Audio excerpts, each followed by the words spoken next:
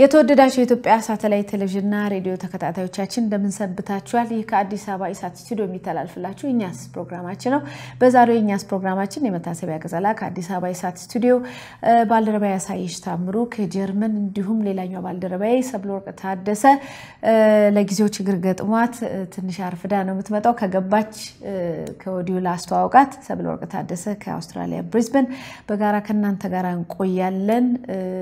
እንግዲህ ርዕሰ ጉዳዮቻችን ምርጫው ቀኑ እየደረሰ ነው። የምርጫ ካርድ ማህበረሰቡ በበቂ ሁኔታ እየወሰደ አይደለም። ከምርጫው ጋር ተያያዥ ጉዳዮችና ፈተናዎችን የምርጫ ቦርድ በቀደም ሪፖርት አቅርቧል። በአካባቢያችን ብዙ እየሰማናቸው ያሉ ግድያዎችም እንዲሁ ቀጥለዋል። እንግዲህ የግብፅ የውጭ ጉዳይ ሚኒስቴርም የኢትዮጵያ ሁለተኛውን ዙር የአባይ ውሃ ብትሞላ ችግር የለብንም አይነት መረጃ ሰጥተዋል። እንግዲህ እነዚህን አስመልክቶ እንወያያለን። አብራችሁን ቆዩ። ተመልካቾቻችን እንግዲህ መጀመሪያ የምንሄደው በሰሜን ሸዋ አካባቢ እየተደረገ ያለውን የንጹሐን ግድያ ነው በሚመለከት ነው።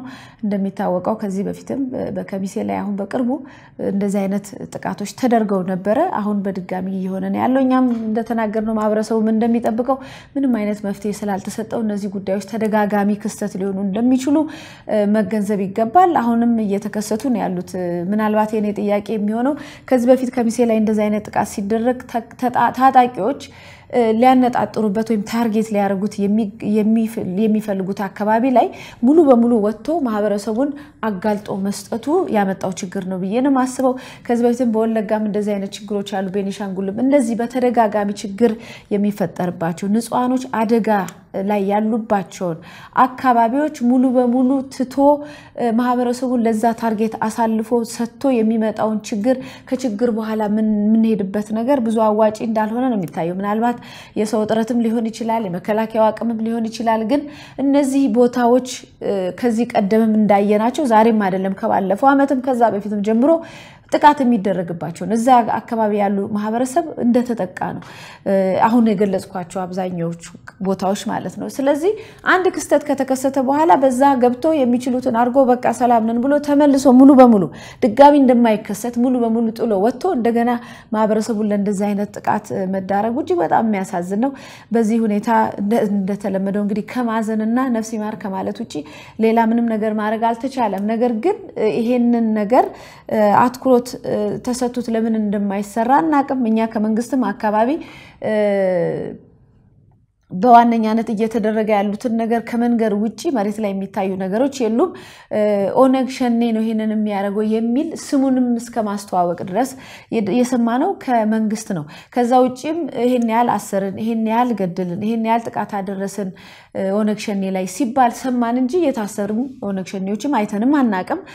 እንግዲህ በየአካባቢው እንደዚህ አይነት ጥቃት ሲደረግ ወዲያው በንጋታው ጥቃት አድርሰናል፣ ተቆጣጥረናል የሚል ዜናዎች ይመጣሉ። ግን ኦነግ ሸኔ የሚባለው ኃይል በመንግስት አጠራር ቁጥሩ እየጨመረ ጥቃቱም እየከፋ እየሄደ ነው ያለው። ስለዚህ ምናልባት ምናልባት አሳይሽ እዚህ ማስተያየት እንድሰጭበት የምፈልገው ይሄ እንደ ሀገር መቼም ልንሸነፍ አንችልም። መንግስት አቅም ከሌለው እንደ መንግስት ፌል ካረገ እንደ መንግስት ይህን መቆጣጠር በብዙ ቦታ ተበትኛለሁ እና መድረስ አልቻልኩም ካለ እንደ ሀገር ግን መፍትሄ መሰጠት አለበት። ብዙ ችግሮች ኢትዮጵያ አሳልፋለች። ይህንንም እንደ ሀገር ልትወጣው የሚገባ ፈተና ነው ብዬ ነው የማስበው።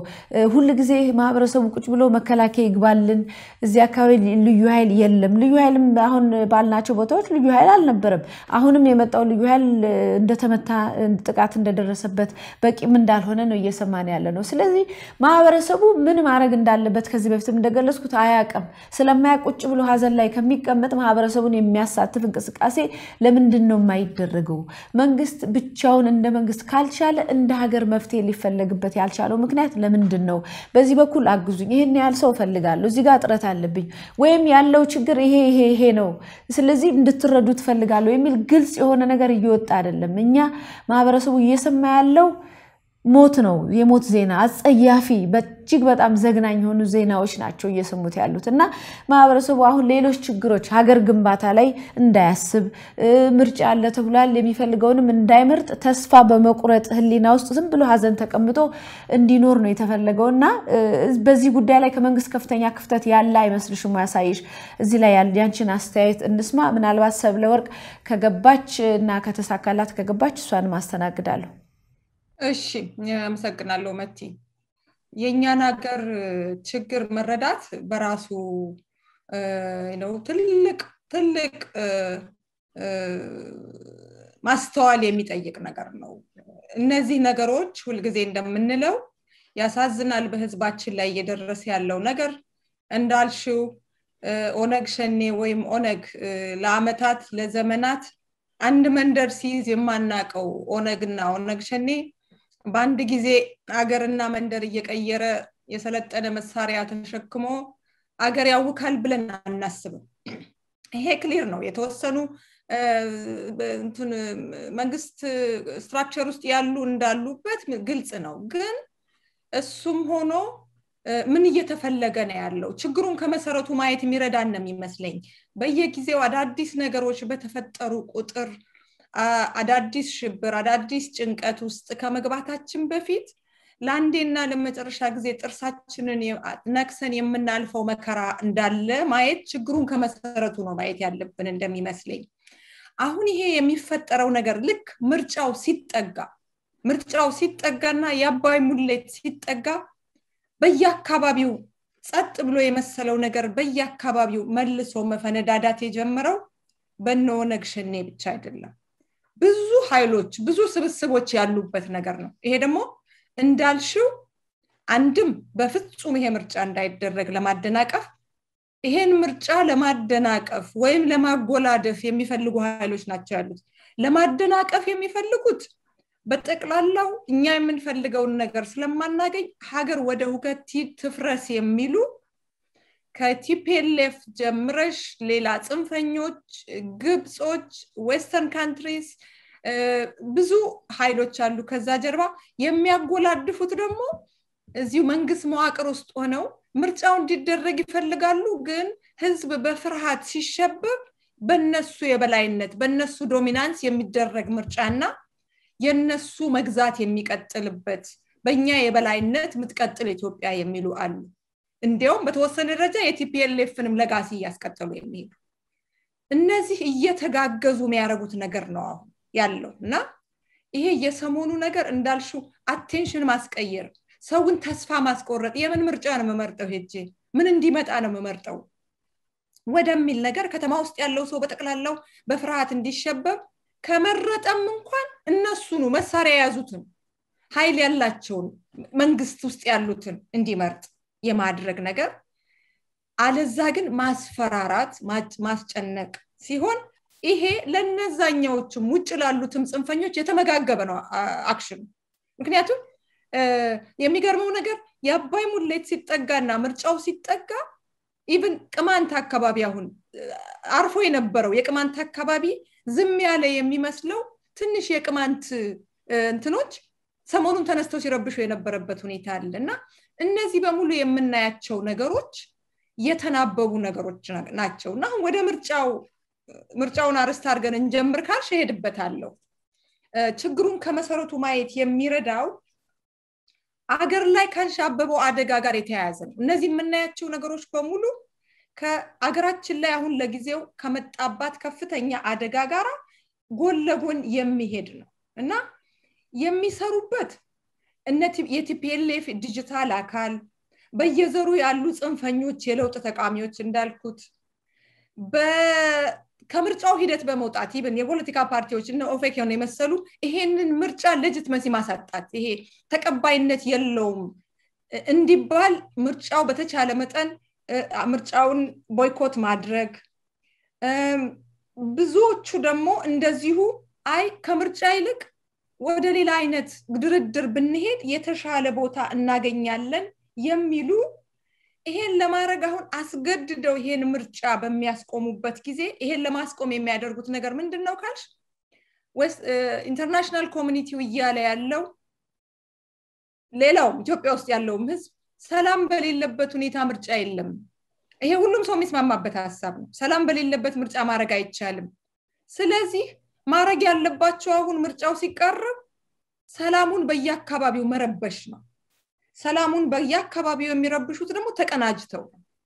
ምክንያቱም ምርጫውን ማደናቀፍ ወይም ሽግግሩን ማደናቀፍ የሚችሉት እንደዛ ሲያደርጉ ነው እና ሰላም በሌለበት ምርጫ አይታሰብም ሲባል ሰላሙን አሁን በወለጋ ባጣዬ በቅማንት ግብጾች ሱዳንን ልከው በዛ በኩል የሚያደርጉት ዲጂታል ወያኔው በከፍተኛ ደረጃ በፕሮፓጋንዳ international ሚዲያዎችን ይዞ እነ ሮይተርስን እነ ቢቢሲን በተወሰነ ደረጃ ዶቸቬለን international ተቋማት ዶክተር ቴዎድሮስ አድሃኖም ደንበኛ activism ይዘዋል TPLF ን ለማዳን እነሱ በሙሉ ፈረንጆቹ የ TPLF አይነት መንግስት ወይ ይምጣ እዛ ሀገር ውስጥ በዘር የተከፋፈለ ለእኛ የሚያገለግል አለዛ ግን ጠንካራ ኢትዮጵያን የማይፈልጉ ግን ሰበብ እየፈለጉ ኢትዮጵያን የሚወነጅሉ እነዚህ በሙሉ ፈረንጆቹም እያሉ ያሉት ምርጫ ሀገር ውስጥ አይሰራም አሁን።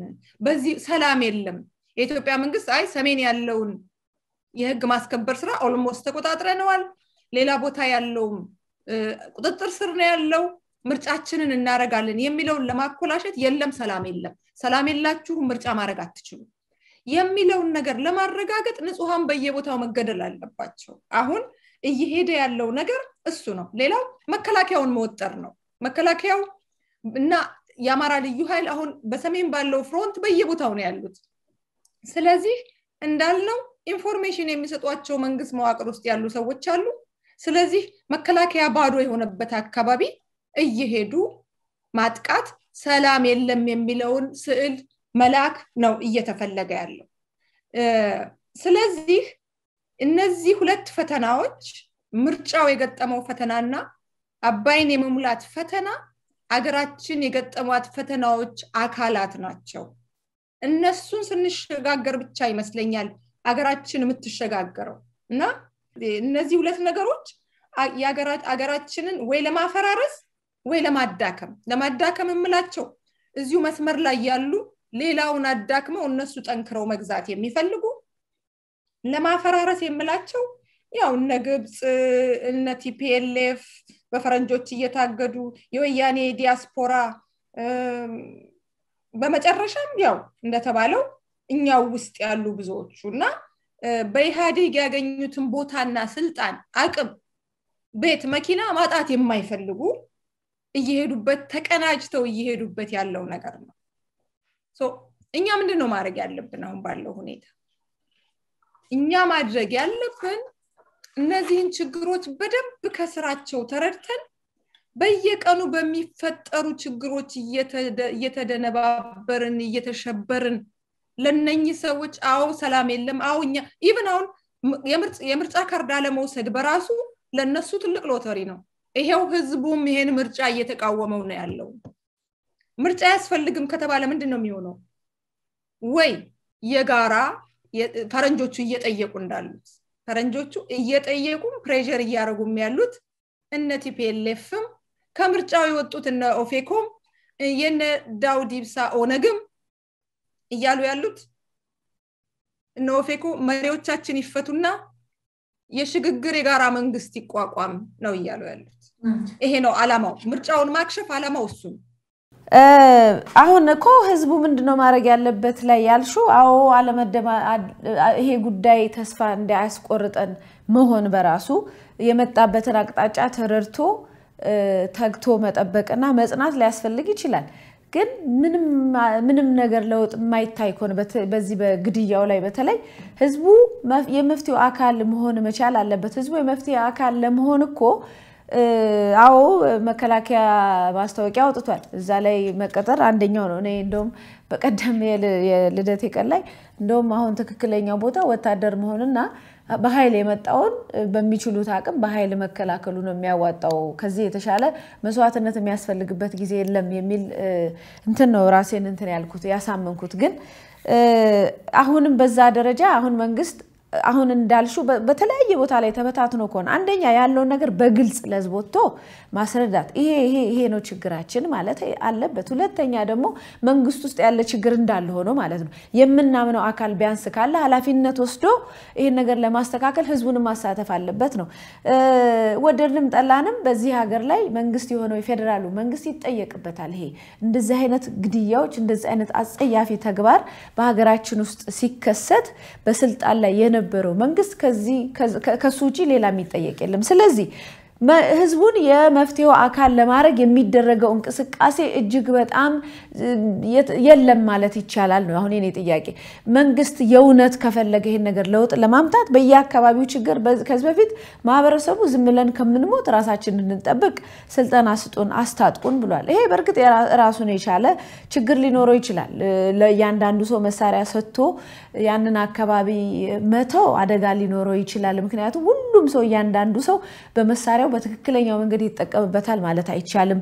ሁሉም ሰው ደግሞ ጤነኛ ነው ማለትም አይቻልም። ሁሉም ሰው ደግ ነው ወይ ወይም አካባቢውን ብቻ የሚጠብቅ ነው ማለት አይቻልም። መሳሪያ የያዘ ሰው ምንም ነገር ሊያስብም ሊያደርግም ይችላል። እንግዲህ ከዚህ አኳያ ችግሩ ይገባኛል። ከሌላው ግን ይህንም ያህል አንድ መቶ አስር ሚሊዮን ህዝብ ያለው አንድ ትልቅ አገር መንግስት ፌል ቢያደርግ ይሄን ነገር ለመቋቋም ቢያቅተው እንደ ሀገር ግን አያቅተንም ነው የኔ ሀሳብ።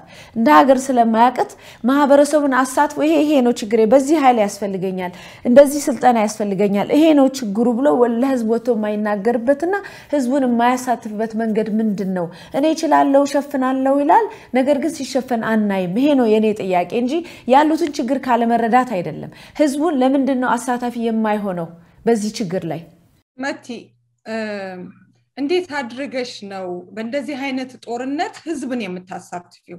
ህዝብ ማሳተፍ እኮ ቀላል ነገር አይደለም። እንኳን እንደኛ አይነት በተለያየ ችግር ባለፉት 27 30 ዓመታት ጎረቤት ከጎረቤቱ በማይተማመንበት ከየዘሩ የተቀላቀለ ህዝብ እዛኛው ቤት ግማሽ ኦሮሞ አለው፣ እዚኛው ቤት ግማሽ አማራ አለው። እሱ እንዳለ ሆኖ ሰራዊትን ማሰልጥነሽ በዚህ ፍጥነት ውስጥ even የሚቀጠር እንኳን ቢገኝ አሁን ለቀረን የምርጫ ምልሽ አንድ መከላከያ ሰራዊትን በፍጥነት ለብ ለብ አድርገሽ ወጣቶች ሰብስበሽ አሰልጥነሽ ሄደህ ግጠም ማለት ለበለጠ አደጋ ውትድርና ዝም ብሎ overnight ሰው የሚማረው ነገር አይደለም። ዲሲፕሊንም የሚጠይቅ ነገር ነው። ስልጠና የሚጠይቅ ነገር ነው እና ይሄ በራሱ ጊዜ የሚወስድ ነገር ነው። እነሱም እየተጠቀሙ ያሉት እሱን ነው።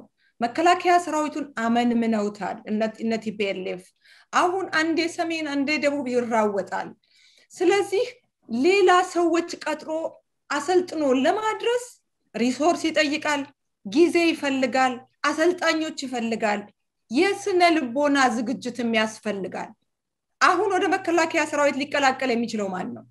ሄዶ ተነስቶ ሆ ብሎ የሚቀላቀለው ምን ማድረግ የፈለገ ነው? of course አገሩን ማገልገልም የፈለገ በሌላ መልኩም በዚህ ሁኔታ angry የሆነ ይሄን ነገር ለውጣለሁ ብሎ የሚሄድ ነው። እሱንም neutral ሆኖ አገር እንዲያገለግል ማሰልጠን፣ ማስተማር፣ በስነ ልቦና ማዘጋጀት አለብሽ። ለህዝቡ መንገር ምን ይነገረው ለህዝቡ ምልሽ ለህዝብ እየወጣሽ ይሄ ነው የሚገልህ፣ ይሄኛው ነው የሚገልህ፣ ይሄኛው ብለሽ ብትነግሪው more ታሸብሬዋለሽ እንጂ እንደ መንግስት ሌላ የምታመጪው ነገር የለም። መንግስት አቅም ካለው አቅሙን ነርቡን ሰብስቦ አጥፊዎችን የመታገል አንደኛው አቅም ነው የመጀመሪያው። ሁለተኛው ፍላጎት ነው። ፍላጎት መንግስት ውስጥ ያሉ ሁሉም ሰዎች ፍላጎት የላቸውም ብለን ካሰብን አደጋ ላይ ነን። ምክንያቱም አገራችን በውስጥ ጠላቶች ብቻ ሳይሆን በውጭም የተወጠረችበት ሁኔታ ላይ ስለሆነ ያለ ነው። በጠቅላላው ይሄን መንግስት ምንም credit መስጠትና የምናምነው መንግስት አይደለም ብለን ማሰብ ከጀመርን በጠቅላላው እንደ ሀገር ችግር ውስጥ ገብተናል። ግን የተወሰኑ ቆራጥነት ያላቸው ይሄን ሀገር ማሸጋገር የሚፈልጉ ሰዎች እዚህም እዛም እየሞከሩ ነው። እነሱን መግፋት አብሮ ችግር ውስጥ ይጠለናል እንጂ ሌላ የሚያመጣው ነገር የለም። ይሄ ሲሆን ግን ውስጣቸው ግን እነሱንም እኛንም እየፈተኑ ያሉ ውስጣቸው እንደነዚህ አይነት ኃይሎች ኦነግን ማን ነው ሸኔን የሚያስታጥቁ ከሸኔ ጋር አብረው የሚሰሩ ውስጥ ሆነው ይህን መንግስት የሚቦረቡሩ እንዳሉ ግልጽ ነው። መደበቅም አያስፈልገውም። አሁን ከኦሮሚያ ክልል ውስጥ የኦሮሚያ ብልጽግና ጠቅላላ ወንበሮቹን ብቻውን ለመውሰድ ተዘጋጅቷል። ምክንያቱም ምንም ተፎካካሪ የለም። ምንም ሌሎቹ በፍቃዳቸው ወጡ እንበል እነ ኦነግ የተወሰኑት። ግን ኢዜማን እኮ አንድ ሁለት ቦታ እንኳን ተወዳዳሪ ማን እንደገደላቸው የተረጋገጠ እንደገደለው የተረጋገጠ ነገር ባይኖርም ገና ሊወዳደር የተዘጋጀ ሰው እኮ የተገደለበት ሁኔታ ነው ያለው። አሁን ኢዜማ አንድም ወረዳ ውስጥ ሄዶ መወዳደር የማይችልበት ሁኔታ ነው ያለው። ይሄ በራሱ ይሄ ምንም ድብቅ ያልሆነ በግልጽ የሚታይ ገሃድ ነው። እና ይሄ ግን እኔ የምለው አደገኛው ነገር አይ በፍጹም መንግስት የለንም ምንም መንግስት የለንም ራሳችን እንከላከል ብሎ ህዝብ ተነስቶ ራሱና ራሱ በራሱ መጋደልና ራሱን መከላከል ሲጀምር አንደኛ አገር ውስጥ አደጋ አለ። ሁለተኛ አገራችን ይችን moment የሚጠብቁ አሰፍስፈው ዳር ላይ የቆሙ ጠላቶች አሉ። ይሄም ባለበት ሁኔታ ብልሃትና ማስተዋል ይጠይቃል የምለው መንግስት እንደ ኢትዮጵያ መንግስት በተወሰነ ደረጃ ሀገርን የመከላከልን ነገር አባይን የመገደብን ነገር ቁርጠኛ በሆኑ ተከራካሪዎቻችን እንደ ሀገር ይዞታል ይሄን ጉዳይ። ይሄንን የሚያበላሽ ነገር መስራት የለብንም። ግን መንግስት ውስጥ በራሱ ያሉ ኦነግ ሸኔ እንዳልነው አንድ መንደር ይዞ ማያቅ በምንም ጦርነት ታሪክ የማይታወቅ ሰራዊት በአንድ ጊዜ even ማረፊያ ቦታ የሌለው ድሮ ኤርትራ ነበረ ቦታው። አሁን በየጎረቤት ሀገሮቹ ጎረቤት ሀገሮችን በሙሉ ጤናማ ናቸው ወይ? ጎረቤት ሀገሮች በራሳቸው ከኛ ጋር እንኳን ወዳጅነት ቢፈጥሩ እንደ ጎረቤት። western countries ሀብታሞቹ እጃቸውን ባስገቡበት ሁኔታ የትኛው አፍሪካ መሪ ነው በቂ ገንዘብ ለሀገሩ ካገኘ ስለ ኢትዮጵያ የሚጨነቀው? ብዙ መረባረብ ያለባቸው ነገሮች ናቸው ነገሮቹ። እና ይሄ አሁን እያየ ነው ያለ ያጣዬ የወለጋ የቅማንት ደግሞ ገና ይቀጥላል። ምርጫው እስኪደርስ ድረስ አዲስ አበባ ከተማ ውስጥ የሚደረጉ ዘረፋዎች ወንጀሎች እነዚህ ሁሉ የዚህ አካል ናቸው። አንደኛ ህዝቡን ተስፋ ማስቆረጥ ወደ ምርጫ እንዳይሄድ ማድረግ እና ለ western countries look at this አዲስ አበባ እንኳን ካርድ የወሰደው ሰው ከስድስት ሚሊዮን ሰው ሁለት መቶ ሺህ ነው። ይሄ መንግስት እያስገደደ ነው ሊያስመርጠው እየሞከረ ያለው።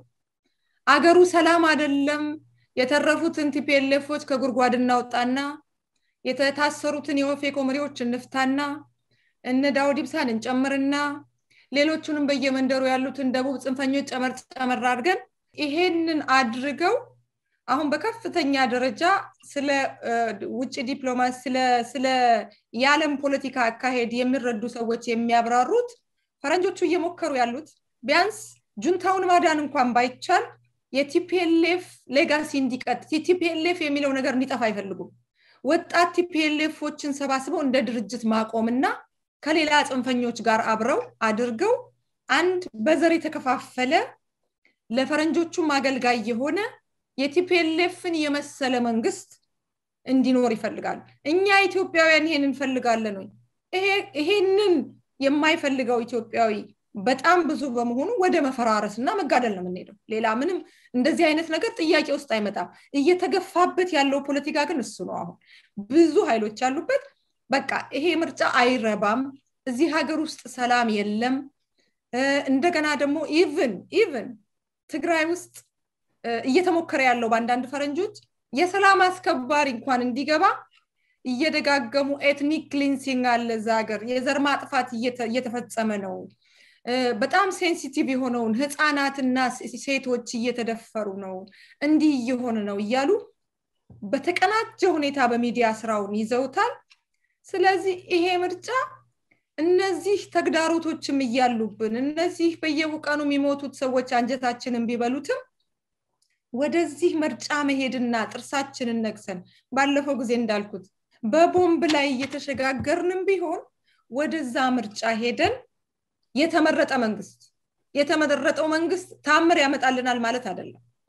ግን ቢያንስ ቢያንስ ስለ ሀገራቸው የሚሞግቱ ለዚህ ሁሉ መጋደል ምክንያት የሆነንን የህግ መንግስት አንቀጾች ለመቀየር የሚታገሉ ከነመከራው ሳንፈርስ መንገዳችንን ይዘን የምንሄድበት የተመረጠ መንግስት ማምጣት እንችላለን። ውጤቱም አይደለም ዋናው ነገር። አሁን ይህንን ሀገር ሰላም ማድረግ የሚቻለው በተወሰነ ደረጃ በእግራችን የምንቆመው ይሄ ምርጫ ሲያልቅና አባይ ተገድቦ ሲያቆም ነው። ማሚን የአባይ ሁለተኛው ዙር ውሃ ሲሞላ ነው። አሁን ዞሮ ዞሮ ያሉትን ችግሮች አንቺ ባልሻቸው መጠን አብዛኛው ማህበረሰብ እየተገለጸለት እያየ ነው። ነው ግን ወደድም ጠላንም መንግስት ኃላፊነት ወስዶ በሌሎች አካባቢዎች ያመጣውን ውጤት በዚህ በኦነግ ሸኔና በጽንፈኛ ታጣቂዎች በየጊዜው የሚያጠፉትን ጥፋት የሚገሉትን ግድያ ለመከላከል በቂ ነገር አልሰራም። እዚህ ላይ ፌል አድርጓል፣ እዚህ ላይ ወድቋል ነው እንጂ ለምሳሌ በትግራይ ላይ የተደረገው የህግ ማስከበር ሂደት እንዲሁም የአባይ ውሃ ሙሌትና የተወሰኑ ትላልቅ የምንላቸው ነገር በተቀናጀ መልኩ እንደተደረገ ሁሉ ይሄኛውንም ያንም እኮ መንግስት ብቻውን አይደለም ያደረገው። መንግስት ግን ፋሲሊቴት አድርጎ በጥበብ በሚችለው መንገድ ያ ነገር እንዲሳካ እንዳደረገው ሁሉ ይሄንንም ህዝቡን ይዞ ልክ በዛኛው ህዝቡን ይዞ እንደሄደ እዚኛው ላይ ህዝቡን አካፍሎ በሚፈልገው መንገድ ያለ ህዝብንም ሊያደርግ አይችልም። ብቻዬን የችግሩ አካል ነው አመቲ በዚህ ክልል በዚህ ክልል መንግስት የምትዩ የተወሰነው የመንግስት አካል የዚህ ችግር አካል ነው። ስለዚህ መንግስት ራሱን ማንከሱ ጋር እንዳለ ማንከሱ ጋር እንደሌለ እንኳን በትክክል የሚያውቅበት በሌላው አቅጣጫ ሁሉም TPLF የሁሉም ጠላት ስለነበረ ሁሉም ሆ ብሎ ሄዶ TPLF ን ተዋግቶታል። የዚህ ችግር ግን መንግስት ውስጥ ያለው መንግስት ራሱ የዛ አካል ነው። ይሄ ነው ነገሩን አስቸጋሪ የሚያደርገው እና አብረሽ መንግስትን እኛ ተረባርበን መንግስትን ይሄ እዛ ውስጥ ያለውን ፍላጎት ያለውን ወደድንም ጠላንም ብልጽግና የሚባለው መንግስት ነው አገር እየመራ ያለው እና አገር የሚመራውን መንግስት በጎ ፍላጎት ያለውን አብረን በወቀጥ ነው ቁጥርና አብረን በገዘገዝንላቸው ቁጥር ራሱ መንግስት ውስጥ ያሉ አሁን የዚህ ችግር አካል የሆኑት አትራፊ ናቸው፣ ከሳሪ አይደሉም። ምክንያቱም እኛ የተወሰነውን ፓርቲ of course መጠየቅ መወትወት ህግ አስከብር ማለት ግድ ነው። ዝም እንበል እያልኩ አይደለም። ዝም እንበል እያልኩ አይደለም። እንዴት ተደርጎ ሰው እየሞተ ዝም ይባላል? ዝም አይባልም። መፍትሄ ፈልጉ፣ ሌላውን የመፍትሄው አካል አድርጉ፣ መፍትሄ ፈልጉ ብለን መወትወት ግዴታ ነው። ግን ሙሉ በሙሉ ይሄ መንግስት በፍጹም እየረባ አይደለምና ወደ ምርጫም አንሄድም ወይም ይወገድልን በጠቅላላው ከመሪው ጀምሮ የምንለው ነገር በተወሰነ ደረጃ ይሄ መንግስት ሀገር እንደ ሀገር የያዘውን መሪ እንዳናስለቅቀውና ወደ ገደል እንዳንገባ ነው የምፈራው እንጂ በኦሮሚያ ብልጽግና በኩል አሁን እኮ ግልጽ ነው ነው አንድም ቦታ አንድም ቦታ ተፎካካሪ የላቸውም። እና መንግስት ውስጥ እንዳልኩሽ ለውጡን የሚፈልጉ መሸጋገር የሚፈልጉ ግን በነሱ የበላይነት እንዲሆን የሚፈልጉ በነሱ ተጠቃሚነት በ TPLF እግር መተካት የሚፈልጉ አሉ። ሌሎቹ ግን ከዳር የቆሙት ደግሞ በጠቅላላው በዚህ form ኡ ሀገር አንፈልግም፣ ወይ ሀገር ትፍረስና እንከፋፈላት፣ አለበለዛ የሚሆን ነገር አይደለም፣ ምርጫም አንፈልግም፣ ሽግግርም። በዚህ ጉዳይ ላይ even ከጠላቶች ከሀገር ጠላቶች ጋር እንተባበራለን ብለው ከግብፅም ከሱዳንም ከነጮቹም ከአሜሪካኖቹም እዚህ በየቦታው በየ western countries የምታዩ የ TPLF ጽንፈኛ ዲያስፖራ እያደረገ ያለው ኢትዮጵያን ስትፈርስ አሳየን። ትፍረሳት ንምልሽ አሁን ሰሞኑን ጀርመን ሀገር ያለፈው ቅዳሜ ነው መሰለኝ። በየከተሞች የተናበበ አንድ ላይ በየከተሞች ሰልፎች አድርገዋል። እና አንድ ፍራንክፈርት አካባቢ የሰማሁት አንድ ቦታ አንድ ሰው ቪዲዮ ልኮልኝ ያየሁት አንዲት አክቲቪስት ምን ትላለች? ተነሳ የትግራይ ወጣት ምን ትሰራለህ? ምን አባት ትሰራለህ? እንደነ ስዩም መስፍን አይነት ጀግኖች እንዳንተ መሰደድ ሲችሉ የዲፕሎማሲ ፓስፖርት ይዘው እዛው ለትግራይ ምድር ላይ ወድቀዋል። ስለዚህ ተነሳ። እነ ስዩም መስፍን ሀገር ሲገዙ የትግራይ ህዝብ በምግብ እርዳታ አንድ ነጥብ ሰባት ሚሊዮን በምግብ እርዳታ ይኖር እንደነበረ ሶስት አራት ልጅ በጦርነቱ የገበረች የትግራይ እናት መቶ ብር በወር እየተሰጣት በረሃብ ትኖር እንደነበረ አሁንም የነሱ ስልጣን እንዳይነካ ይሄው የትግራይን ወጣት እንደ ሰዓት እየማገዱት እንዳሉ እነሱ በየጫካው እንዲጠብቁ እነሱን የሚጠብቀው እንደ ቅጠል እየረገፈ እያሉ ማየት የማይችሉ የትግራይ አክቲቪስቶች አሉ። even ለትግራይ ኢትዮጵያን ተይው። ስዩም መስፍን ሲጠራ የሚያንቀጠቅጠው ብዙ ኢትዮጵያውያን ብዙ ለበደሉ እሱ እኛን ይርሳን ግን ለትግራይ ህዝብ ራሱ ምን አድርጓል ብሎ ማሰብ እንኳን የተሳናቸው? ጀግኖቻችሁ ትግራይ ምድር ላይ ወድቀዋል። ምን ተደርገው ወደቁ? እባካችሁ የትግራይን ህዝብ ወደ ጦርነት አትጨምሩት። እኛንም ችግር ውስጥ ኢኮኖሚካሊም ጦርነት አትክተቱን። የትግራይ ህዝብ ከሌላው ኢትዮጵያዊ ጋር ተስማምቶ መሪዎቹን መርጦ ኢኮኖሚውን አሳድጎ ይኑር ተብለው እግራቸው ላይ ተወድቆ ሲለመኑ የሰውን ልጅ እንደ ከብት አርደው ጦርነት ጀምረው የትግራይን ወጣት እንደገና ተስፋ ሳጥተው በየሜዳው በረሃብ በጥይት አስጨርሰው ከስልጣናችን ንቅንቅ አንልም ብለው የወደቁትን እንደ ንጉስ እያረጉ እያሞገሷቸው አሉ በየቦታው። እነዚህ ነገሮች በሙሉ ስታያቸው ከዚህ መውጣት ውሸት ለምሳሌ አሁን ፈረንጁ እያመነው ያለው ውሸት ውሸትን ገለሽ ተገድያለው ብለሽ ማሳመን መቻል የሴቶችና የህፃናትን መደፈር በምን መልኩ እየሸጡት እንዳሉ ስታይ international community ው በምን መልኩ እንደገዛው እና ይሄ መንግስት ውስጥ የችግሩ አካላት አሉ። ይሄንን በአንድ ቀን ማጽዳት አይቻልም። I think እስከ ምርጫውን ማጽዳት አይቻልም።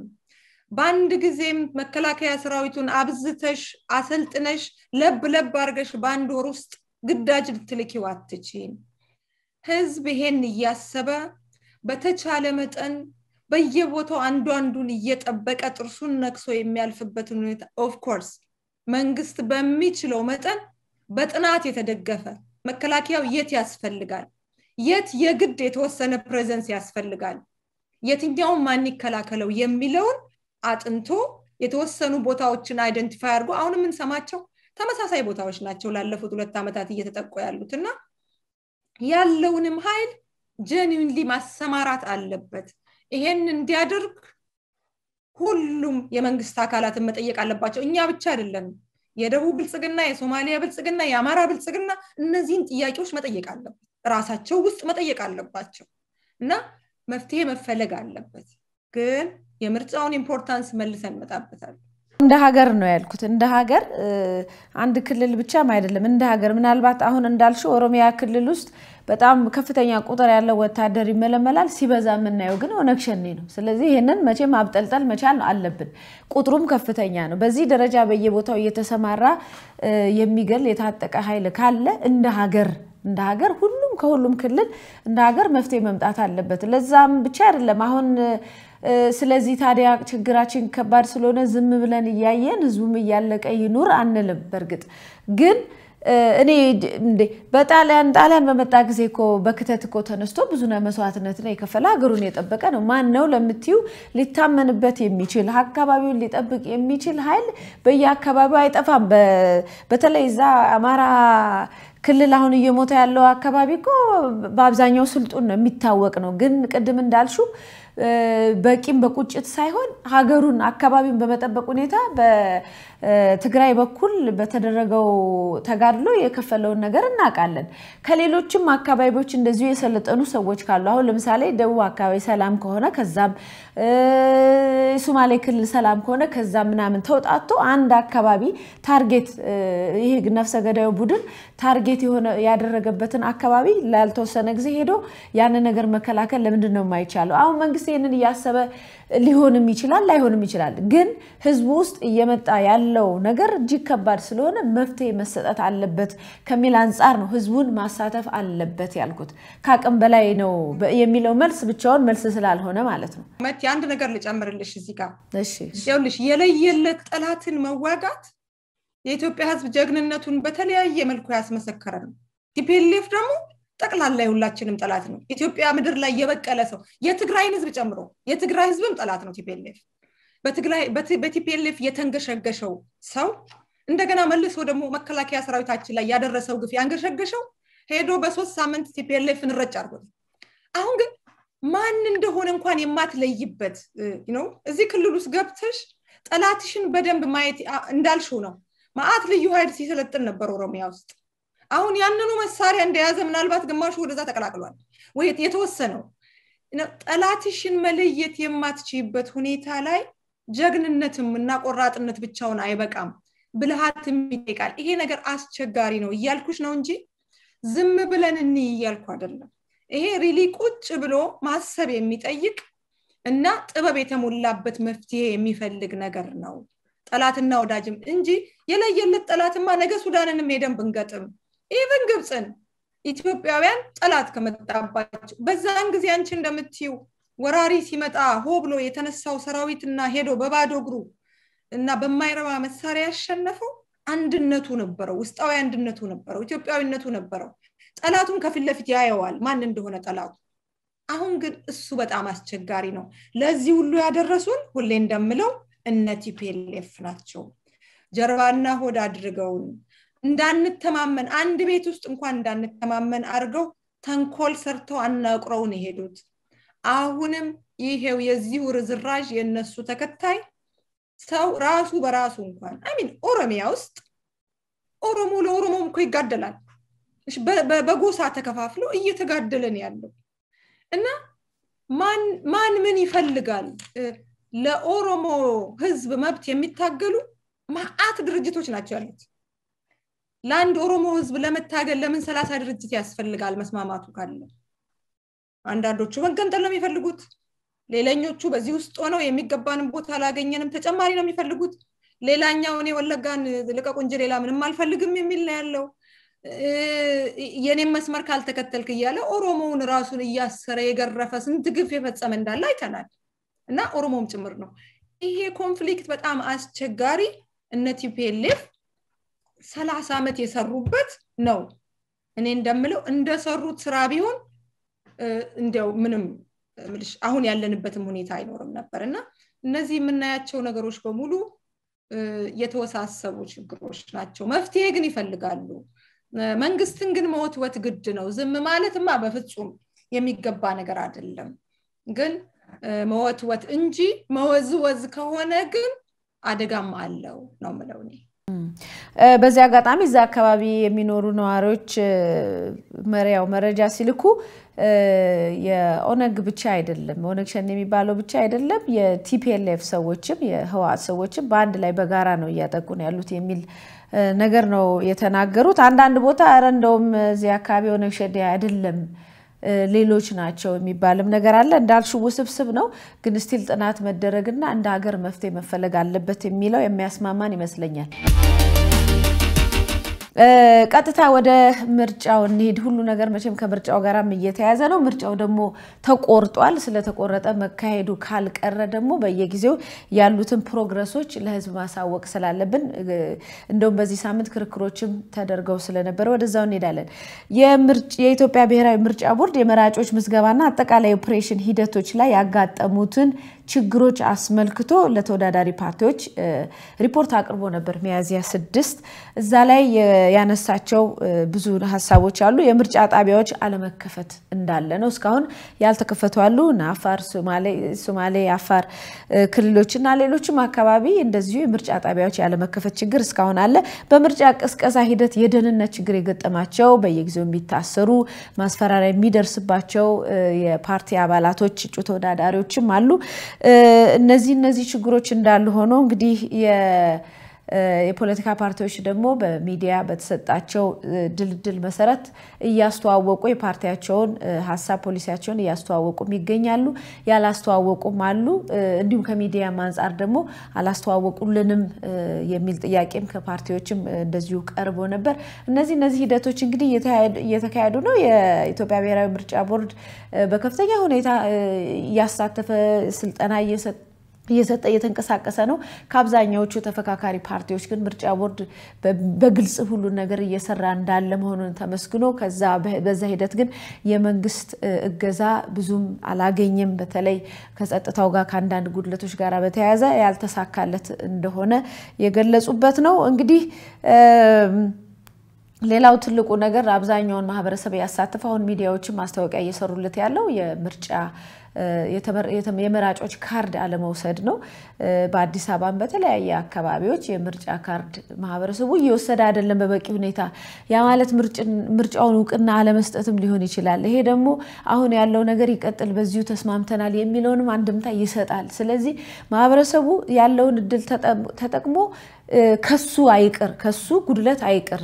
በባዶ ሜዳ ተሸንፎ ሳይሆን እዛው ሄዶ የሚችለውን ምርጫውን መብት የማስከበርና ከዛ በኋላ ለሚመጣው እንግዲህ በሂደት እናየዋለን። ከዛ ውጭ ግን እንደ ግለሰብ የተሰጠውን መብት ተጠቅሞ ምርጫ ካርድ መውሰድ አለበት የሚሉ አብዛኞች ሰዎች የሚናገሯቸው አሉ። በየፌስቡኩም ካምፔን እየተደረገ ነው። ምርጫ ካርዳችሁን ውሰዱ፣ አለዛ ላለው መንግስት ፈቃድ ሰጥታችኋል። እሱንም መስጠትም ከፈለጋችሁ ምርጫውን ካርዱን ወስዳችሁ ይዛችሁ ነው መስጠት ያለባቸው። አለዛ ግን ሀሳብ ቢቀየር አሁን በጣም ጥቂት ከአንድ ሳምንት ያነሰ ጊዜ ነው ቀኑ የደረሰው። እንግዲህ የምርጫ ቦርድ ይሄን ነገር ካላራዘመው ነገሩ ትንሽ ሊያስቸግር ይችላል እና አንዳንድ ቦታ እንደዚሁ የምርጫ ካርድ መስጫ ቦታዎች ላይ የምርጫ ጣቢያዎች ላይ በትላልቁ የብልጽግና ማስታወቂያ ተለጥፏል። እንግዲህ ከጀርባ ብልጽግናን ይምረጡ ወይም ከብልጽግና ጋር ወደፊት ብለው እዚህ ጋር ደግሞ የምርጫ ካርድ መስጠቱ ትንሽ እነሱ እንዲመረጡ ትልቅ ግፊት ማድረጉ ህዝቡን ተስፋ እንዳያስቆርጠው የሚል ስጋትም አለ። እነዚህ ናቸው። ከዛ ውጭ እንግዲህ በቴሌቪዥኖች በሬዲዮዎች ላይ ክርክሮች እየተደረጉ ነው። ክርክሮቹንም እንግዲህ እንወያይባቸዋለን። ከዛ ውጭ አሁን ባልኳቸው ላይ አሳይሽ የአንችን ሀሳብ ላስቀድም። አዎ ይሄ ምርጫ ችግር አለው ብለናል። ችግር እንደሚኖረው ለሁላችንም ግልጽ ነበረ። ችግሮቹ የጸጥታ ችግሮች በአንዳንድ ቦታዎች አሉ። ቢሮዎች ለመክፈት አልተቻለም።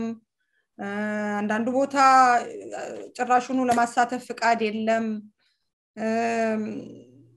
እነዚህ የሚፈጠሩ ሁከቶች ህዝቡ ላይ ፍርሃትን ጨምረዋል። በዚህ ላይ ደግሞ ያው ህዝባችን ችልተኛም ነው፣ ነገ አረገዋለሁም የሚል ነገር አለ። ሶስተኛ ደግሞ ብዙ ጊዜ እዚህ ሀገርም ደጋግመው የሚናገሩት አደገኛ የሆነ አስተሳሰብ አለ። እኔ ብቀር ምንም አይመጣም፣ የእኔ ድምፅ ብዙ አይጎዳም።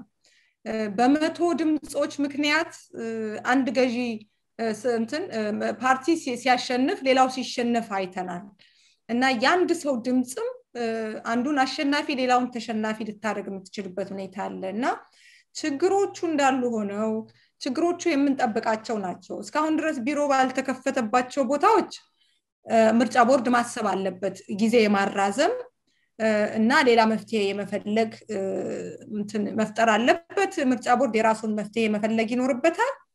ግን በተከፈተባቸው ቦታዎች ግን ሪሊ ይሄንን ምርጫ ወይ በችልታ ወይ ምንም አይመጣም በሚል ተስፋ መቁረጥ ወይም ደግሞ በምንሰማቸው እነዚህ ግርግሮች፣ ሁከቶች ተረብሸን ካርዳችንን አለመውሰድ አገራችንን ሊያፈርሱ አሰብስበው ለቆሙ ሰዎች ሰርግና መልስ ነው።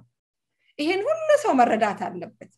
ይሄ ምርጫ ጥሩም ባይሆን መጥፎም ባይሆን መጥፎም ቢሆን ባለፈው ሳምንት እንዳልኩት ከሶስት መጥፎ ነገሮች የምንመርጠው ነው። ምንድን ነው ባንመርጥ የምንሆነው? ይቅር እሺ፣ ይሄ ምርጫ ይሄ ምርጫ ከቀረ አይ ምርጫ የለም፣ ሀገርም ሰላም አይደለም፣ ህዝብን ፍላጎት የለውም፣ even ካርድ አልወሰደም። ስለዚህ ተደራደሩና ወደ ሽግግር መንግስት ሂዱ የሚል ብዙ ለሀገራችን ችግር የሆኑት ሰዎች መልሰው ወደ ስልጣን የሚመጡበትና ችግር ውስጥ የምንገባበት ነው የሚሆነው።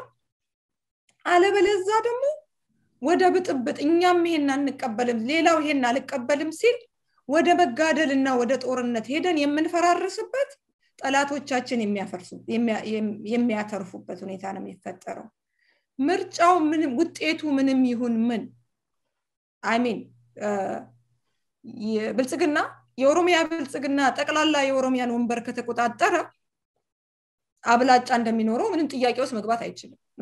ግን ቢያንስ ሌላውን ሌላውን የተወሰኑ ሀገር የሚያድኑ ዜጎች ከሌሎች ብልጽግና ካሉ ደና ሰዎች ጋር ሆነው አገርን ቀስ እያሉ የሚያሸጋግሩበትን እድል ለመፍጠር በጠቅላላው በመረረ ቃል ልግለጸው ካልኩኝ ይሄ ምርጫ የባርነት ከባርነት በተወሰነ ደረጃ ወደ ነፃነት ትንሽ ብርሃን የምናይበት ነው። ሙሉ በሙሉ ከባርነት ወደ ነፃነት እንወጣለን ብዬ ለመናገር አልደፍርም። ምክንያቱም ከምርጫም በኋላ ያኮረፉ ሰዎች፣ በካርድ የተቀጡ ሰዎች ሊረብሹ እንደሚችሉ ማሰብ አለብን። ሊሆን ይችላል እሱ ግን ፈርተን አይ አያዋጣም ብለን ተስፋ ቆርጠን ለሌሎች የምንለቀው ነገር ወደን ፈቅደን በፍላጎታችን እንድንገዛ ወስነናል። ምክንያቱም ለሶስተኛው አማራጭ ደግሞ ያልጠቀስኩት ይሄ ካልሆነ ብልጽግና ይሄን አልቀበልም ካለ ወይም አሁን ያለው መንግስት የሽግግር መንግስቱንም አልቀበልም ካለ ምርጫውን fail ካረገ አሁን ያለው መንግስት ይቀጥላል ማለት ነው። ይሄ መንግስት ደግሞ እዚህ ላይ አንድ ዓመት ሲጨመርለት እዚህ ላይ ሁለት ዓመት ሲጨመርለት እንዴት አድርጎ ሊገዛን ይችላል የሚለውንም ቆሞ ማሰብ ያስፈልጋል። ስለዚህ ይሄ ምርጫ የተሻለውን መጥፎ የምንመርጥበት really ሁሉም ሰው አሁን ሰልፍ ሊበዛ ይችላል። ቀኑ እየቀረበ ስለሆነ ካርድ መውሰጃው አስር ሰዓት አስራ ሁለት ሰዓት ለመሰለፍም ዝግጁ መሆን ያስፈልጋል። ይሄ እንዳልኩት የነፃነታችን ቀዳዳ ጭላንጭል ነው።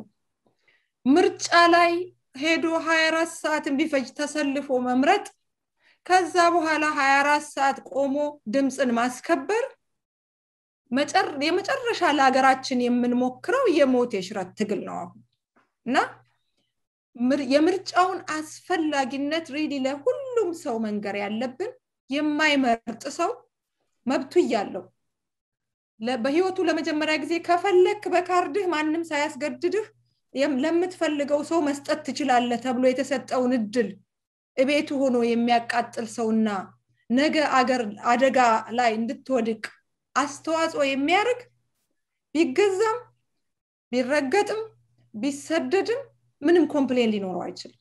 ምክንያቱም at least ሞክሮ ታግሎ ቢወድቅ ከዛ ትግሉን ይቀጥላል መልሶ። ግን ይሄ አንዲት ካርድ አውጥቶ ሄዶ ላለመምረጥ እቤት ከተዋለ ወዶ ገብነት ነው። I mean በቃ አንቺ አልመርጥም ካልሽ ሰዎች እንዲመርጡልሽ ፈቅደሻል። የመረጡልሽን ኑሮ መቀበል አለብሽ። ከዛ ውጭ የሚሆን ነገር የለም። ስለዚህ ይሄ ምርጫ ባይደረግ ምንድን ነው የሚሆነው ብሎ ቆሞ ማሰብ በጠቅላላው እነዚህን ቅድም ያልኳቸውን ሁለት መጥፎ ነገሮች ያሳየናል።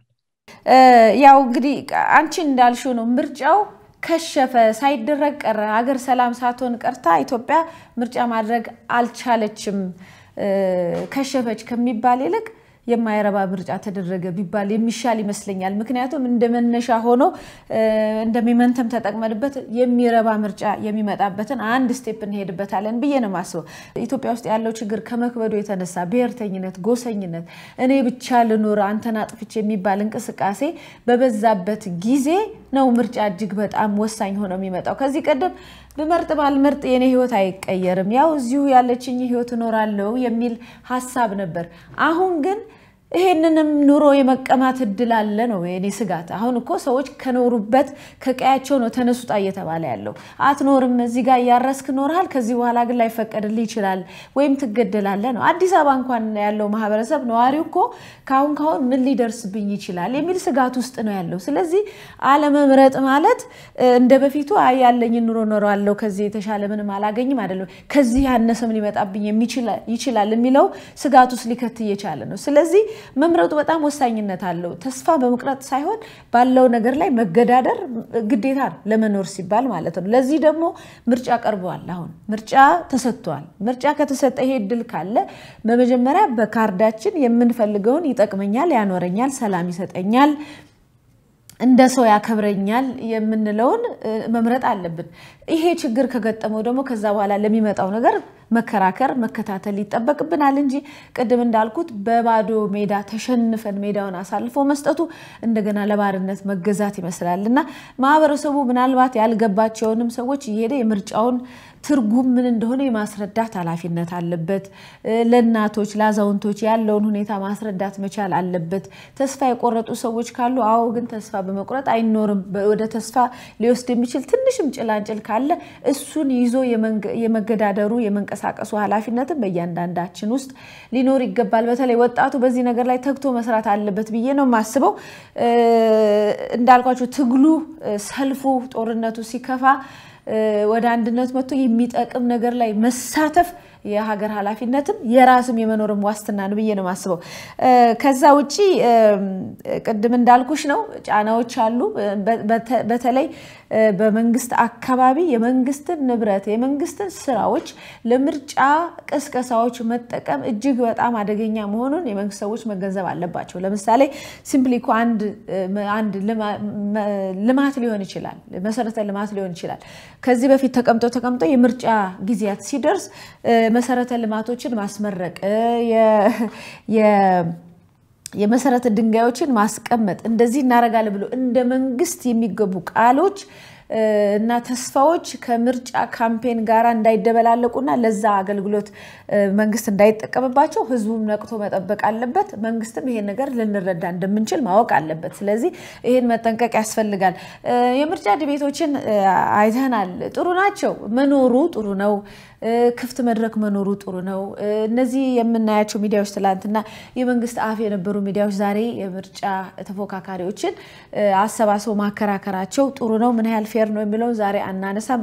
ትንሽ ማየት አለብን፣ ግን እንደ ጥሩ መነሻ መነጋገር አለብን። ግን social ሚዲያው እንዳለ በእነሱ ክርክሮች ተሞልቶ ነበር።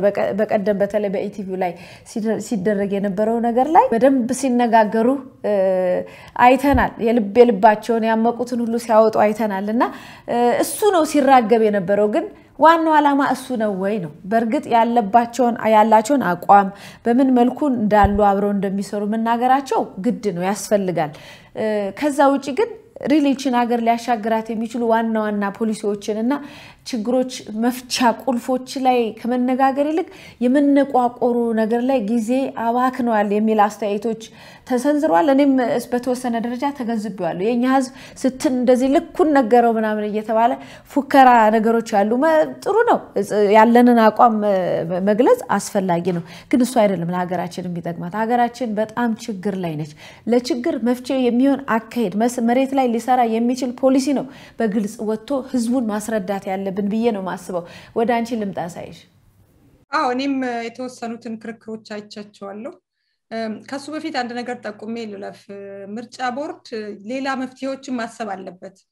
ለምሳሌ ብዙ ሰው ወደ መመዝገቢያ ጣቢያው የማይመጣ ከሆነ የተወሰነ ቡድን ወደ ህዝቡ መሄድም አሁን ለምሳሌ አንዳንድ የመከተቢያ ጣቢያዎች እንዳሉ ሰምቻለሁ። እዛ አካባቢ የምርጫንም እንትን አብረው ጎን ለጎን ማድረግ ቢችሉ ሊከተቡ የሚመጡ በእድሜ ገፋ ያሉ እናቶች፣ አባቶች በዛው የምርጫ ካርዳቸውንም የሚወስዱበት ሁኔታ ሊፈጠር ይችላል። በየህዝብ ሰብሰብ ወደ ያለባቸው አሉ የሚባሉ ቦታዎች ሁሉ ምናልባት ወደ መንግስት መስሪያ ቤቶች፣ ትላልቅ መስሪያ ቤቶች አላውቅም ህጋዊ መሆኑን ብቻ በተወሰነ ደረጃ ምርጫ ቦርድ ትንሽ ተጨማሪ ኃይል አሰማርቶ ከጊዜው ማጠር የተነሳ ሌላ አማራጮችን ቢፈጥር ጥሩ ነው ላለው ያ ክርክሮችን አይቻቸዋለሁ። አንቺ እንዳልሽው ነው ዋናው ነገር ላይ ብዙ ጊዜ እኛ ችግር አለብን። አሚን ጉዳዩ ላይ ከመወያየት ይቅር ኮዙ ላይ ከመወያየት ይቅር ይልቅ ይሄ የመጎሻሸም ነገር በእርግጥ አሚን ኢህአዴጎች የለመደባቸው ጸባይ አለ። የድሮ ኢህአዴጎች ማለት ነው። ይሄ ያስተማሯቸው ድሮ የተማሩት አንድ አይነት ነገሮችን የመድገም አሁን እኔ ያየኋቸው ነገሮች ይሄ የድሮ ስርዓት ናፋቂዎች የድሮን ነገር ለመመለስ የብሔር ብሔረሰቦች ህገ መንግስቱ የሰጣቸውን መብት ለመሸራረፍ የምትሞክሩ። ቲፒኤልኤፎች ብዙ ጊዜ ሀሳብ ስላልነበራቸው የሀሳብ ድሃ ስለነበሩ ስትቃወሚያቸው ማህተም ነው የሚያትሙብሽ መጀመሪያ አፍሽን ለማዘጋት። ወይ ቴሮሪስት ነሽ ወይ የድሮ ደርግ ነሽ ወይ የድሮ ስርዓት ደጋፊ ነሽ ወይ ጽንፈኛ ነሽ ኖ ወይ ትምክህተኛ ነሽ ወይ ጽንፈኛ ነሽ። እንደዛ ነው አሁን ትምክህተኛና ጽንፈኛ የሚሉትን ብልጽግናዎች ስትተዋቸዋል ስለማያስኬዱ እና ይሄ አሁን አዲሱ ትሬንድ ደግሞ እንዲያርገንላችሁ አስረን የታሰራችሁትን ፈተናችሁ የተሰደዳችሁትን አስገብተናችሁ አዚፍ አገሩ የነሱ አገር ብቻ እንደሆነ የሚዘነጉት አንድ ነገር አለ ብዙ ጊዜ። አሁን እነዚህ ሁለት ክርክሮች ውስጥ ያየሁት ዋናው ጉዳይ ላይ በመወያየት ይልቅ ነው ሰው እኮ በዛን ጊዜ አፉን ቢዘጋ አሁን እነሱ እንደሚመኙት አንገቱን ደፍቶ ቢገዛ እኮ ኖሮ መታሰርም አልነበረበትም። እየነገደ ወይ ሀብታም ሆኗል ወይ እየተማረ ዶክተር ፕሮፌሰር ሆኗል ወይ ምናምን ሆኗል። እዚሁ አገሩ ሳይሰደድ ሳይንከራተት በየእስር ቤቱ እጁን ወደኋላ ተጠፍሮ ሳይታሰር አንዳንዱ እንደውም ባለው ችሎታና አቅም ሚኒስተር ሆኖ ምናምን ሆኖ ስልጣንም ተሰጥቶት ቤትም ተሰጥቶት መኪናም ሊኖር ይችል ነበር አላማው እኮ እሱ አይደለም ለመታሰር ለመታሰርም ለመሰደድም እንትን ግፍ አንቀበልም ያሉ ናቸው ያንን መስዋዕትነት የከፈሉ። እሱን አሁንም አይቀበሉም። ምክንያቱም already ከስረዋል እኮ። I mean ያንን ካደረጉ በኋላ አሁን መልሰው ግፍ የሚቀበሉበት ምክንያት የለም። እና ያንን እንደ ውለታ መቁጠር ምክንያቱም ቀጥታም ባያረጉት ያንን ሲያረግ ከነበረው ስርዓት ጋር አብሮ የነበሩ ሰዎች አሁን ሰማሪታ ሆነው እነሱ ምህረት አረግንላችሁ እንደውም ደግሞ እኔ በሰጠው ሜዳ መተህ እየተወዳደርክ አይነት አባባል really ብልጽግናዎች ነውር መሆኑን ማወቅ አለባቸው። ይሄ ነገር ነውር ነው። ሌላኛው በፌዴሬሽን ላይ የተደረጉ ክርክሮች ናቸው። በፌዴሬሽን እና በልዩ ኃይል ላይ I mean እዚህ ሀገር ውስጥ የችግሮቻችንን ምንጮች እንያቸው ከተባለ genuinely እንያቸው ከተባለ በነ ቲፒኤልኤፍ የተሰጠን ህገ መንግስት ነው ችግር ውስጥ እየከተተን ያለው። እና ይሄንን መንግስት ማሻሻል ወይም አደረጃጀቱን ፌዴራል አደረጃጀቱን በተሻለ መንገድ እናዋቅረው ማለት የብሔር ብሔረሰቦችን ያገኙትን መብት መውሰድ ማድረግ አድጎ ማቅረብ ትክክል አይደለም። ምክንያቱም ብሔር ብሔረሰቦች ጌጥ ናቸው አገራቸው ነው። ሁሉም ሰው መብት እኩል የሚከበርባት ኢትዮጵያ እንድትኖር እንፈልጋለን። ለኢትዮጵያ ፌዴራሊዝም አማራጭ የሌለው ነው። በጣም አስፈላጊ ነው። ግን የእውነተኛ ፌዴራሊዝም ነው መሆን አለበት የሚለው ክርክር በብልጽግና ሰዎች በኩል ለምሳሌ ማኒፌስቷቸው ውስጥ ተቀምጧል። ህገ መንግስቱ እና ፌዴራሊዝሙ ለብሔር ለብሔረሰቦች እና ህዝቦች የሰጠውን መብት ሳንነካ ሳንሸራርፍ ይዘን እንቀጥላለን ይላል። ይሄ ማለት አርቲክል 39ን ጨምሮ ማለት ነው። ተከራካሪዎች ሲሉ እንደሰማ ነው የመገንጠል መብትን ጨምሮ ማለት ነው። እና እንደዚህ አይነት እና ይሄ ዋናው ጉዳይ ላይ ሳይሆን አርስቱ ላይ ሳይሆን ይሄ የመጎሻሸም እዛም ላይ አሁን ፌዴራሊዝም ላይ በተደረገው ክርክር ላይ ኢንጂነር ይልቃል ከብልጽግናው ሰውዬ ጋር መጎሻሸም ይታይ ነበረ የወደፊቱ ክርክር እንዲሆን የምንመኘው እንዳልኩት ፖይንቶች ወጥተው አንዱ ፓርቲ ከሌላው የሚለይበትን አንዱ ፓርቲ በምን መልክ አገርን ሊያስኬድ እንደሚፈልግ የተሻለ እንደሆነ ከመጎሻሸም ውጪ ይሄ ይሄ እናረግንላችሁ ከሚል ውለታ ውጪ አንዳንድ ደግሞ ከልክ ካለፉ ቃላት ውጪ ከኢሞሽንም ወረድ ብሎ በትዕግስት የሚደረግ ጉዳዩ ላይ ብቻ አርስቱ ላይ ብቻ የሚደረጉ ውይይቶች መሆን አለባቸው። ግን ከአንዳንድ ፓርቲዎች የአቅምም ችግር ስላለ ማጣፊያው ሲያጥርሽ ነው ወደ መጎሻሽ የምትሄጂው አንዳንድ ጊዜ። እና የአቅምም ችግር አለ። ተስፋ አለኝ። ብዙ ፓርቲዎች አቅም ያላቸው ሰዎች ከኋላ ያስቀመጧቸው እንዳሏቸው እነሱን ለማየት ጓጓለሁ እና ይሄን እኔ ጥሩ ነው ብያለሁ። ህዝብም አነቃቅቷል በተወሰነ ደረጃ ብዬ አስባለሁ። ምክንያቱም ካርድ ለመውሰድ የነበረው ሁኔታ ትናንትና ጨምሮ እንደነበረ ሰምተናል። ስለዚህ ይሄ ክርክሩ የራሱ የቻለ አስተዋጽኦ አለው ማለት ነው። ህዝቡን በምርጫው ተስፋ እንዲኖረው የማድረግ እድል ይኖረዋል። ቅድም እንዳልሽው ክርክሮቹን በጣም ስሜት ውስጥ የመግባት ነገር አለ። አሁን ኢትዮጵያ ምን ላይ ናት ያለችው? ህዝባችን ምንድን ነው የሚፈልገው? እኛ ምናምን ሳይሆን እኔ ምንድነው የተሰማኝ በዚህ moment ላይ ሳይሆን ህዝባችን ምንድን ነው የሚፈልገው? ኢትዮጵያን ከዚህ ካለችበት ችግር እናወጣለን ነው አደለ ዋናው ሀሳብ? ስለዚህ እንዴት ነው ማወጣው የሚለውን ሀሳብ መነሳት አለበት ከዛ ውጭ ሰዓታችን አልቋል። ግን በጣም በአጭሩም ቢሆን ይህን ነገር ማየት አለብን። የግብፅ የውጭ ጉዳይ ሚኒስቴር ኢትዮጵያ ሁለተኛውን ዙር ውሃ ሙሌት ብታደርግ ችግር የለብኝም ችግር አይገጥመኝም በበቂ ሁኔታ አንደኛ አይጎዳንም ቢጎዳን እንኳን የራሳችን ያስቀመጥነው reserve ያደረግነው ስላለ ስለሚኖር በቂ ጉልበት አለን። ምንም የሚያመጣብን ተጽዕኖ የለም ብለው suddenly ይሄ እንደዚህ አይነት መግለጫ አውጥቷል እንደዚህ አይነት ነገር ተናግሯል። እና እኔ እኔ በግሌ በጥርጣሬ ነው ያየሁት። አብዛኞቻችን እንደ ወደ ጦርነት እንገባለን የሀይል እርምጃ እንወስዳለን የምናረገውን ነገር ሁሉ እናረጋለን ብለው ሲፎክሩ የነበሩት ሰዎች በአንድ ጊዜ እንደዚህ እንዴት ሊሉ ይችላሉ? በእውነት አምነውበት አሳምኗቸው ነው ወይስ ሌላ ስትራቴጂ ለመንደፍ አስበው ነው የሚል ጥያቄ እያነሳብኝ ነው? እንዴት አየሽው አንቺ? ያሳይሽ አዎ ምልሽ ይህንን ጉዳይ በተለያየ መልኩ ማየት ነው። አንድም አንቺ እንዳልሽው ሊሆን ይችላል፣ ማዘናጋት ሊሆን ይችላል። ሁለትም ህዝባቸውን ቴስት ማድረጊያም ይሆናል። እነ ግብፅ ይሄንን ነገር እየገፉበት እያሉ ምንም እንደማይጎዳቸው እኮ ለረጅም ጊዜ ያውቁታል። ግን ውስጥ አልሲሲ ባለበት pressure የህዝብ እንትን ውስጥ ያለበትን ችግር attention ለማስቀየር እየሄዱበት መንገድ ያለው መንገድ ስለሆነ ቆይ እስቲ ህዝባችን ምን ይላል test እናድርገውም ሊሆን ይችላል። ግን reaction ኑን አይተናል። በጣም የግብፅ አክቲቪስቶች በጣም እየተንጫጩ ነው። ጦርነት ያስፈልጋል፣ ኢትዮጵያን ዝም ማድረግ ያስፈልጋል፣ ይሄን ቤኒሻንጉልን መግዛት አለብን ገብተን እስከ ማለት ድረስ ግድቡን አፍርሱ እያሉ እየሄዱ ነው። I think በየቦታው አይተውት ጦርነትም አስቸጋሪ እንደሆነ ነገር ገብቷቸው ቆይ መውጫ መንገድ እየፈለጉ ግን የሞቀውን ውሃ በዚህም በዛም test እያደረጉት ነው የሚመስለው። የእኛንም reaction የህዝቡንም reaction እየሞከሩት ያሉ ነው የሚመስለኝ እንጂ ይሄ ነገር እኮ በውስጣቸው ያውቁታል አባይ ምንም ችግር እንደማያመጣባቸው እና እኔ በሁለቱም ነው የማየው። አንድም ማዘናጋት ሊሆን ይችላል፣ ሁለተኛም ያለባቸውን internal pressure ለማየት ህዝባቸውን test ለማድረግ የሄዱበት መንገድ ይመስለኛል።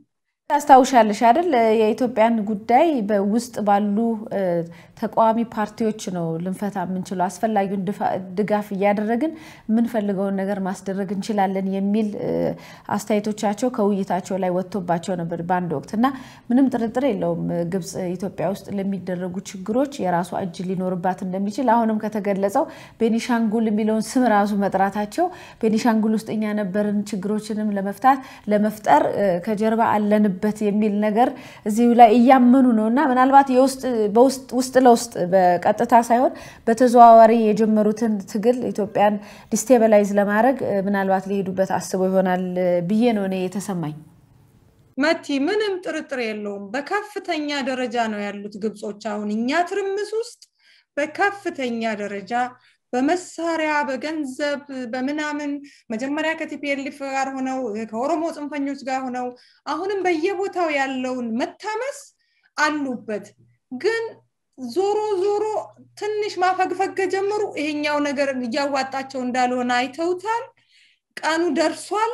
I think ቀኑ ደርሶ ግድቡ ከተገደበ ውሃው ከተሞላ ከዛ በኋላ ምን እናደርጋለን? ተነስተን ጦርነት እንጀምራለን? international community ው ምን ይላል? ይሄኛው ካርድ ሊቃጠልባቸው እየተዘጋጀ ስለሆነ ከዛ በኋላ ምን እናደርጋለን የሚለውን ህዝባቸውን test እያደረጉበት ነው። እነሱ መቼም እኛን ከማተራመስ ወደኋላ ይላሉ አይባልም፣ ግን at least ሁለተኛው ዙር ከተሞላ በኋላ ይቀንሳል ብዬ አስባለሁ። ምክንያቱም የሚያባክኑት resource ራሱ ቀላል አይደለም ኢትዮጵያን ለማተራመስ ላለፉት አርባ ሀምሳ ዓመታት የዛሬው ውይይታችንን በዚህ እንፈጽማለን። እኔ መታሰቢያ ቀጸላ ከዚህ ከአዲስ አበባ ስቱዲዮ ነበርኩኝ። ባልደረባዬ አሳየች ታምሩ ከጀርመን ነበረች። ሌላኛው ባልደረባችን ዛሬ አልተሳካላትም፣ አልገባችም። እኛ ይህን ብለናል። እናንተ የምትሉትን በኢሳት እኛስ at ethsat dot com ወይንም በስልክ ቁጥራችን በቴሌግራም እና በዋትሳፕ መልእክቶቻችሁን፣ አስተያየቶቻችሁን ላኩልን። በሌላው ፕሮግራም ሳምንት እስከምንገናኝ ሰላም ከእናንተ ጋር ይሁን።